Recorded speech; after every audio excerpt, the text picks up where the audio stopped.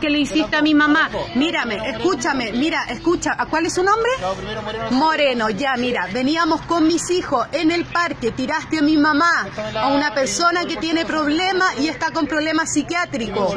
Te voy a subir y te vas, te, vas a ir de baja por no hacer lo que corresponde. Nadie es adivino, pero tú no tienes por qué tratar así. Nosotros nos íbamos tranquila y tú, mira cómo tienes a mi hijo, mi hijo es operado del corazón Aquí estamos con 40, 30, debe ser. Si a mi hijo le llega a pasar algo, tú vas a tener la culpa.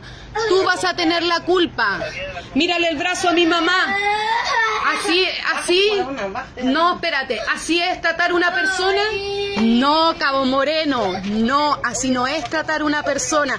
Y menos dos personas que iban tranquilas con sus dos hijos y menores de edad.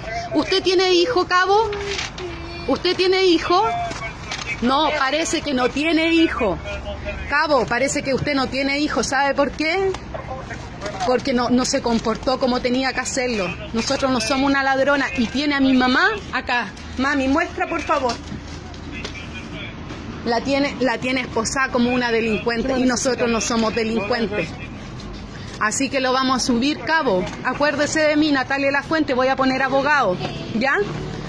Para que no se crea que la gente humilde se queda así. Y si le llega a pasar algo a mi hijo, usted va a tener la culpa a cabo.